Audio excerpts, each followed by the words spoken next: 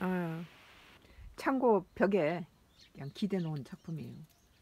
엄청 커서 한 번 이사 올 때 들어오면 이렇게 대형 작품들은 어, 한, 한, 한두 사람 가지고 힘으로 부족해요. 그래서 이렇게 큰 대형 작품들은 이게 대리석이에요. 대리석 작품, 이태리 대- 대리석인가 봐요. 작품 한 번 들어오면 움직이질 못해요. 그래서 꼼짝도 못하죠. 장정 한 서너 명이 들어야 되는 큰 작품이니까 창고 벽에다 붙여놓고 지금 아. 여기는 연못이었는데 모이밭이 됐네요. 이것도 이태리 대리석. 뼈. 뼈인데 여기 얘는 그냥 굴러다니니까 연못 만들 때 아예 시멘트로 굳혀버렸어요 여기다.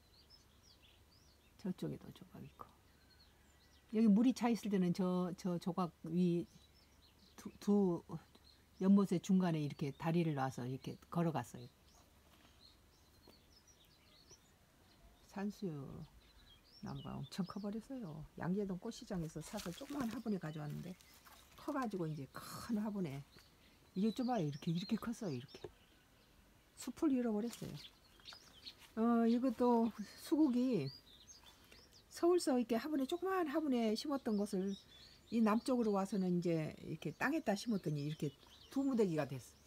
엄청 큰 수국이 돼 버렸어요. 땅에서 그냥 겨울에도 죽지 않고 그냥 사르니까 두 무더기가 됐죠. 음. 어, 유자는 이 올리브가 올리브 얼른 이렇게 키가 많이 컸네요. 올리브가 작년에도 열렸는데 올해는 많이 열렸으면 좋겠어요. 뭐 서울서 온 식구들이 이게 천사 나팔꽃은 몇 개가 돼- 지금 됐어요. 조그만 화분이었는데 이게 이제 저 천장이 닿아서 이게 다 잘라 톡톡톡 잘라가지고 여러 개 합을 만들었어요. 이건 비파 나무. 비파가 비파가 열렸죠. 아 이것도 엄청 커요. 우리 집만 오면 나무들은 왜 이렇게 크는지 몰라. 엄청 커요. 네, 소나무도 잘라줘야 되겠네. 소나무도. 그리고 자른 것은 약을 안 쳤기 때문에 솔잎차를 해서 마시면 좋아요.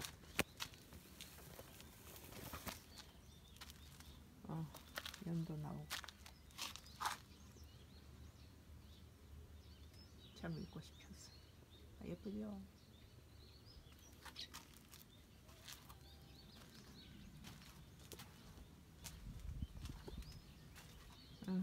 내가 심어놓은 담쟁이에요. 밖에도 담쟁이고 위에도 안에도 담쟁이에요.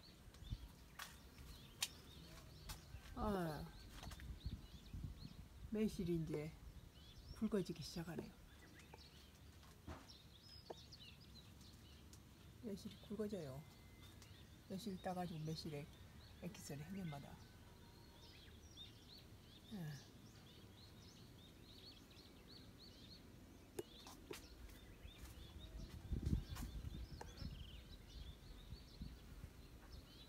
매실 액기스.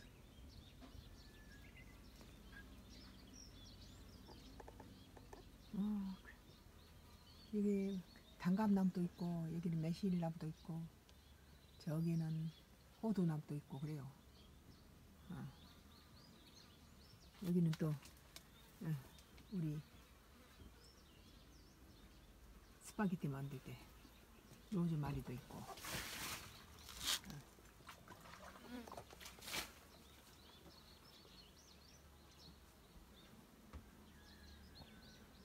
어. 매실나무